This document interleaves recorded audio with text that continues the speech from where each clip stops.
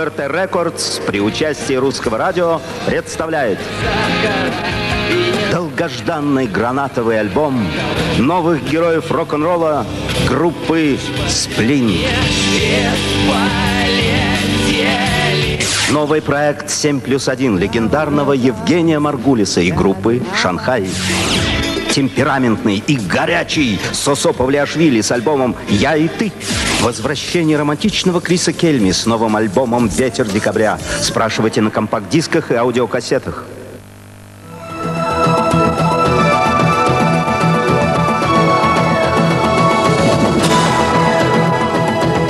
Уважаемые зрители, 12 апреля, в День космонавтики и авиации, ОРТ начнет работу в 8 часов фильмом 1974 года «Отроки во Вселенной». Космический корабль прилетел на дальнюю планету раньше срока, экипаж не успел как следует повзрослеть и даже подрасти. «Звездная Одиссея» Владимира Басова. 9.25 Дисней Клуб. Утиные истории. 9.55 Спорт Лото. 10 часов. Выпуск новостей. 10.10 Непутевые заметки. 10.30 Пока все дома. 11.10 Утренняя звезда.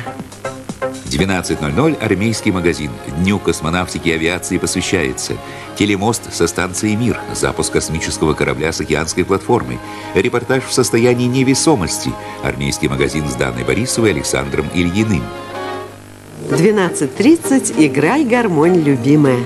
Геннадий Заволокин приглашает телезрителей побывать в городе Жуковском, где строят разнообразные летательные аппараты.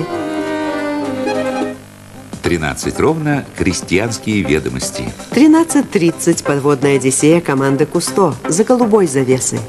14.25 «Смеха панорама». 15 часов «Новости». 15.20 «Клуб путешественников». 16.05 «Дисней Клуб». Мультипликационные фильмы, новые приключения Винни-Пуха и Чип и Дейл спешат на помощь. 17.05 «Колесо истории». 17.50 прогноз погоды. 17.55 «Укращение огня». «Что может быть прекраснее небесного свода?» — говорил Коперник. «Что может быть благороднее, чем стремление покорить небеса?» Но для путешествий во Вселенной нужны машины, которые построят космические корабли. Фильм Даниила Храбровицкого, первая и вторая серии. В ролях Кирилл Лавров, Ада Роговцева, Игорь Горбачев. 20.55 киноафиша.